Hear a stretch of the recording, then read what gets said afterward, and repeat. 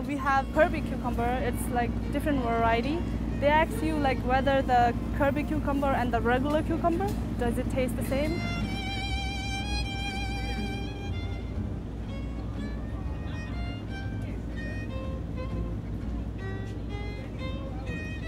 They have a pretty much same taste, but the Kirby cucumber you can eat the whole skin.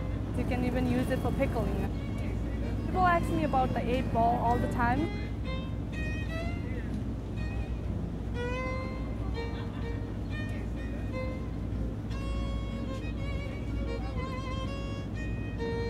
They ask you mainly like how do you cook them because it's round compared to those long zucchinis. You can use them to for stuffing. Uh, you can also do pasta with fresh uh, cut up eight balls.